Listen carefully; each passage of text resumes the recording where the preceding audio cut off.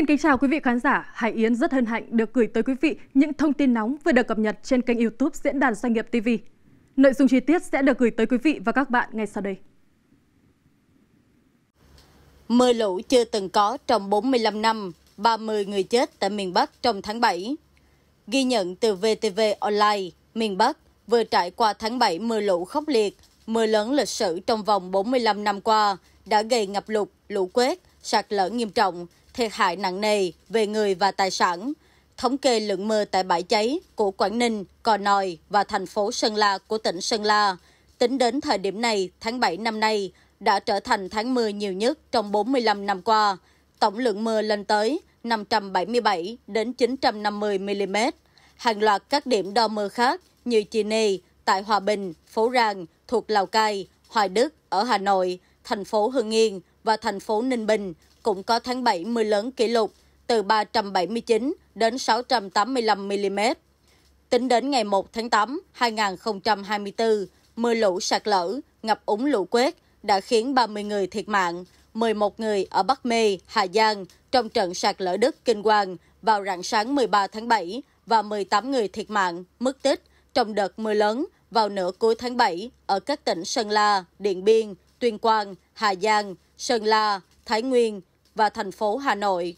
Mưa lũ, ngập lụt, sạt lở, lũ quét đã gây thiệt hại hàng trăm ngôi nhà dân, hàng loạt tuyến đường trọng điểm bị sạt lở, ách tắc. Hơn 40.000 hecta hoa màu bị thiệt hại nặng nề.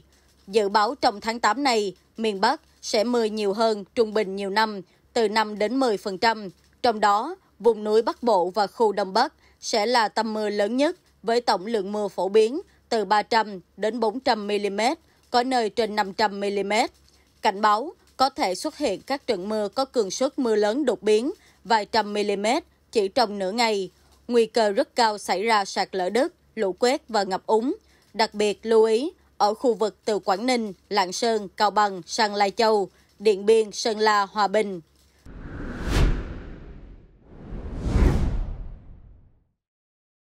Mưa lớn gây thiệt hại ở nhiều tỉnh phía Bắc. Theo báo Dân tộc và Phát triển, các tỉnh ghi nhận người thiệt mạng gồm Hà Giang 2 người, Điện Biên 2 người, Thái Nguyên 1 người, Bắc Giang 1 người, Sơn La 1 người và Bắc Cạn ghi nhận 2 người bị thương. Về nhà ở, tại các tỉnh có 82 nhà bị sạt lở, ngập lụt, hư hỏng. Riêng Điện Biên có 18 nhà phải di dời khẩn cấp. Về sản xuất, các tỉnh Điện Biên, Bắc Cạn, Cao Bằng ngập nặng với tổng số hơn 70 hecta lúa và hơn 10 hecta hoa màu. Thái Nguyên ghi nhận 200 con gia cầm, gia súc bị chết. Về giao thông, các địa phương xảy ra sạt lở tại 51 điểm với tổng khối lượng đất đá khoảng 5.308 mét khối. Trong đó, hai tỉnh Điện Biên và Cao Bằng sạt gần 4.000 mét khối. Ngay sau khi thiên tai xảy ra, chính quyền địa phương đã tổ chức thăm hỏi, động viên gia đình có người bị nạn, huy động lực lượng hỗ trợ người dân khắc phục hậu quả và ổn định cuộc sống. Tại Thái Nguyên, chị Mông Thị Quy, 25 tuổi, ở huyện Định Hóa, trên đường đi làm qua cầu Tràng, xã Điện Biên, huyện Định Hóa, thì bị lũ cuốn trôi, đã tìm thấy thi thể. Mưa lớn chiều 30 tháng 7 khiến các xã Trung Hội, Phượng Tiến, thị trấn Chợ Chu, huyện Định Hóa ngập sâu. Nhiều đoạn đường, trang nhà ở bị ngập sâu từ 30 đến 50 cm. Tuyến quốc lộ 3C, khu vực đỉnh đèo So, thuộc xã Quy Kỳ, huyện Định Hóa, bị sạt lở đất đá tại km 26, gây ách tắc giao thông. Tuyến đường Hồ Chí Minh, đoạn qua xã Tân Dương, huyện Định Hóa, cũng bị ngập nước. Các phương tiện không di chuyển được. Còn tại tỉnh Điện Biên, một người ở xã Mường Bán, huyện Tủa Chừa, tử vong do sạt lở đất đá. Một người ở thị trấn Mường Chà, huyện Mường Chà, chết do bị lũ cuốn trôi. Mưa lớn đã làm 35 nhà bị sạt lở, ngập lụt, 17 nhà ở xã Nậm Pồ phải di dời khẩn cấp. 16 tuyến đường liên xã, bản ở các huyện Mường Nhé, Nậm Pồ và Mường Chà bị sạt lở. Hiện chính quyền địa phương đang triển khai khắc phục tạm để đảm bảo giao thông. Tại tỉnh Hà Giang, trong chiều tối 30 tháng 7, khi đang di chuyển bằng xe máy trên đường đi làm về, hai bố con ở thị trấn Cốc Bài, huyện Xính Mừng thì bị lượng đá lớn từ ta luy dương lăn xuống, đè vào người tử vong tại chỗ. Mưa lớn đã khiến nhiều tuyến đường tại tỉnh Bắc Cạn bị sạt lở như quốc lộ 3B vào huyện Nari. hiện đã thông tuyến. Quốc lộ 3 đoạn qua thành phố Bắc Cạn, 15 ngôi nhà bị ảnh hưởng do sạt ta luy dương. Đất đá từ trên núi, sạt trượt đã vùi lấp hai người dân đi đường tại tuyến đường từ Công Minh đi xã Vũ Muộn, huyện Nari. Rất may, người đi đường kịp thời phát hiện đã cứu được hai nạn nhân. Tại tỉnh Bắc Giang, mưa lũ đã làm một người chết, một người mất tích do lũ cuốn tại tỉnh Sơn La. Mưa lớn còn kéo dài đến ngày 2 tháng 8. Theo thông tin từ Trung tâm Dự báo Khí tượng Thủy văn Quốc gia, từ ngày 30 đến sáng 31 tháng 7, khu vực các tỉnh Bắc Bộ đã có mưa vừa, mưa to, cục bộ có nơi mưa rất to, với lượng mưa 24 giờ trên 100 mm như Hồ Thầu, Lai Châu 134,8 mm, Tà Giang Phình, Lào Cai 137 mm, Kiên Lao, Yên Bái 126,6 mm, Tiến Bộ, Tuyên Quang 202,2 mm, Cầm Khê, Phú Thọ 123,4 mm, Yên Phong, Bắc Cạn 258,8 mm, Trung Hội, Thái Nguyên 410,2 mm, Lạng Sơn 191,7 mm, Cẩm Phả, Quảng Ninh 167,2 mm. Theo dự báo, từ đêm 31 tháng 7 đến ngày 1 tháng 8, lũ quét, sạt lở đất tiếp tục ở mức cao. Ở khu vực Tây Bắc và Việt Bắc của Bắc Bộ có mưa vừa, mưa to và dông.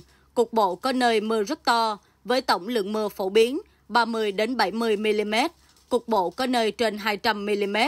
Mưa lớn ở khu vực Tây Bắc và Việt Bắc của Bắc Bộ có khả năng kéo dài đến ngày 2 tháng 8 với lượng mưa phổ biến 30 đến 60 mm, cục bộ có nơi trên 150 mm.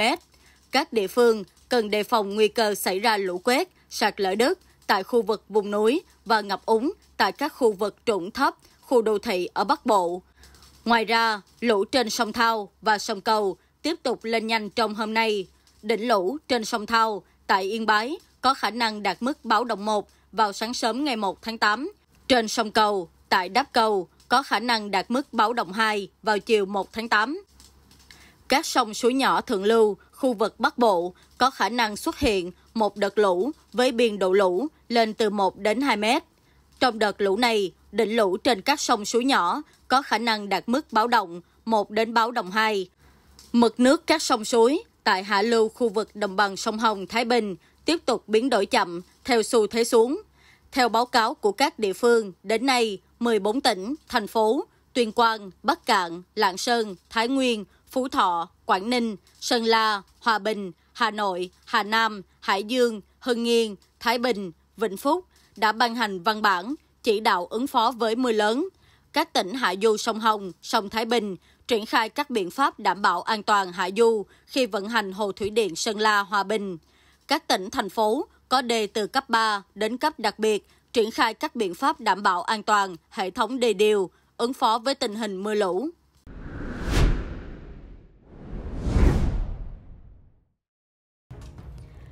Ba hồ thủy điện lớn Sơn La, Hòa Bình, Tuyên Quang đồng loạt xả lũ. Theo báo pháp luật thành phố Hồ Chí Minh, Bộ trưởng Bộ Nông nghiệp và Phát triển nông thôn lệnh mở một cửa xả đáy hồ thủy điện Tuyên Quang vào 12 giờ trưa nay, thủy điện Sơn La mở thêm hai cửa xả đáy vào 12 và 14 giờ, thủy điện Hòa Bình mở cửa xả đáy vào 18 giờ hôm nay, 2 tháng 8. Ngày 2 tháng 8, Bộ trưởng Bộ Nông nghiệp và Phát triển Nông thôn có công điện lệnh Giám đốc Công ty Thủy điện Sơn La, Giám đốc Công ty Thủy điện Hòa Bình, Giám đốc Công ty Thủy điện Tuyên Quang yêu cầu mở cửa xả đáy để điều tiết mực nước.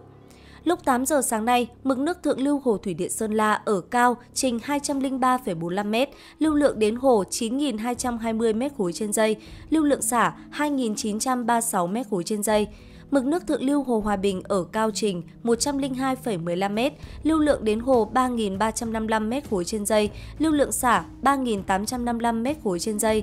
Mực nước thượng lưu Hồ Tuyên Quang ở cao trình 109,73 m, lưu lượng đến hồ 2.331 m khối trên giây, lưu lượng xả 670 m khối trên giây thực hiện quy trình vận hành liên hồ chứa trên lưu vực sông Hồng và nghị quyết số 102 ngày 29 tháng 6 của Chính phủ về việc bảo đảm công tác chỉ đạo, điều hành phòng chống thiên tai trong thời gian kiện toàn cơ quan chỉ đạo, chỉ huy phòng thủ dân sự các cấp, Bộ trưởng Bộ Nông nghiệp và Phát triển Nông thôn lệnh. Giám đốc công ty Thủy điện Sơn La mở một cửa xả đáy hồ Thủy điện Sơn La vào hồi 12 giờ ngày 2 tháng 8 và mở tiếp cửa xả đáy thứ hai vào hồi 14 giờ cùng ngày. Giám đốc công ty Thủy điện Hòa Bình mở tiếp cửa xả đáy thứ hai Hồ Thủy điện Hòa Bình vào hồi 18 giờ ngày 2 tháng 8. Giám đốc công ty Thủy điện Tuyên Quang mở một cửa xả đáy Hồ Thủy điện Tuyên Quang vào hồi 12 giờ ngày 2 tháng 8. Cùng thời điểm, Bộ Nông nghiệp và Phát triển Nông thôn cũng có văn bản hỏa tốc gửi Ủy ban Nhân dân 14 tỉnh, thành phố gồm Tuyên Quang, Sơn La, Hòa Bình, Phú Thọ, Vĩnh Phúc, Hà Nội, Bắc Ninh, Hải Dương, Hải Phòng, Hưng Yên, Hà Nam, Thái Bình, Nam Định, Ninh Bình về việc đảm bảo an toàn hạ du khi vận hành hồ thủy điện Sơn La, Hòa Bình, Tuyên Quang. Bộ Nông nghiệp và Phát triển Nông thôn yêu cầu Ủy ban Nhân dân 14 tỉnh thông báo ngay đến các cấp chính quyền, người dân, các tổ chức có hoạt động trên sông, ven sông, các hoạt động khai thác tập kết, trung chuyển cát sỏi biết thông tin xả lũ Hồ Thủy Điện Sơn La, Hòa Bình, Tuyên Quang để chủ động các biện pháp phòng tránh, đảm bảo an toàn về người, tài sản. Bộ Nông nghiệp và Phát triển Nông thôn cũng nêu rõ, Ủy ban Nhân dân các tỉnh chỉ đạo các cơ quan, đơn vị liên quan phối hợp với chủ hồ có giải pháp đảm bảo an toàn đối với người dân hiếu kỳ đến gần khu vực xem xả lũ. Báo cáo và đề xuất kịp thời phương án xử lý các tình huống bất thường có thể xảy ra trong quá trình xả lũ về Cục Quản lý Đê điều và Phòng chống thiên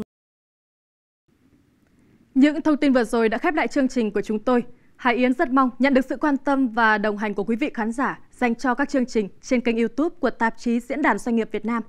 Đừng quên nhấn chuông theo dõi chúng tôi để không bỏ lỡ bất kỳ thông tin cập nhật nào. Xin chào và hẹn gặp lại!